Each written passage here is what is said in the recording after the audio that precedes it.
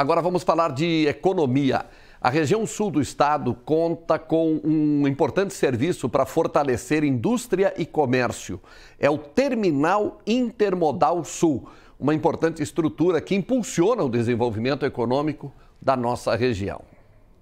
Quem passa por aqui não deixa de reparar os containers empilhados. A movimentação é intensa durante todo o dia. Empilhadeiras, caminhões e máquinas trabalham até às 10 horas da noite. A gente utiliza aqui o, transporte multimodal que a gente chama, né? É, a gente apresenta para o cliente uma solução logística integrando os modais rodoviário, ferroviário e marítimo, né? Hoje as empresas que utilizam o terminal conseguem ter uma economia de até 30% nos custos de logística. A estrutura tem capacidade para movimentar até 100 containers por dia. A gente trabalha basicamente aí com arroz, a questão de cerâmica, né?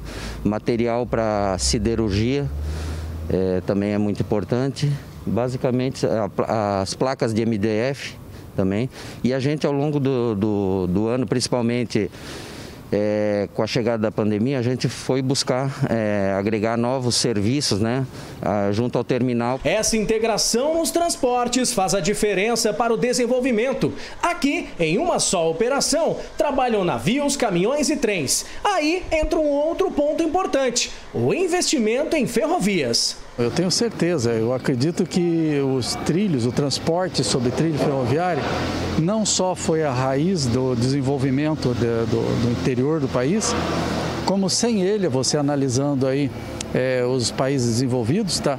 É, o futuro do transporte não, não evolui. O, o trilho é fundamental para o tipo de carga ferroviária, né?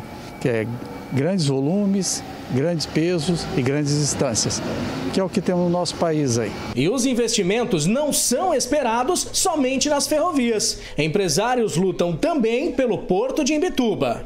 A gente tem uma, uma, uma, convicção de que se, se chegasse uma linha, voltasse uma linha externa aí junto ao porto de Imbituba, é, com certeza a gente teria condições de duplicar a nossa movimentação de carga, haja vista que, que a carga é, de exportação aí a maioria vai, vai para outros portos e não aqui, não, não ficando essa operação aqui na região. Nem mesmo a pandemia impediu o crescimento e com o mercado aquecido, a movimentação já retomou o ritmo natural dos negócios. Obviamente a gente teve uma queda aí beirando os 10%, mas a operação não parou.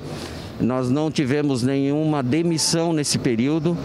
Tá? Pelo contrário, a gente fortaleceu, não tivemos redução de jornada de trabalho, continuamos atuando na linha de frente. E isso fez com que os próprios acionistas da empresa se motivassem a, a, começar a fazer um planejamento estratégico, desenhando os novos investimentos no curto e médio prazo. Isso é muito importante para a nossa operação, entendeu? E assim como foi no passado, os trilhos continuam levando desenvolvimento. Um trabalho feito por muitas pessoas. E um ambiente que poucos conhecem é exatamente esse aqui, ó. É onde fica o maquinista do trem, que você vê todos os dias rodando aqui a nossa região. Estou aqui com o Edevaldo. Mas, Edevaldo, como é que funciona essa situação aqui para poder conduzir o trem? Explica pra gente. É, na verdade, aqui é o freio dos vagões, aqui é o independente da locomotiva, aqui é onde acelera Aqui é a marcha de reversões, tanto para frente como para trás. E... É por aí. Todos os dias nessa pegada. Isso. Esse é o trabalho do Edevaldo, representando aí vários maquinistas que estão todos os dias rodando a nossa região.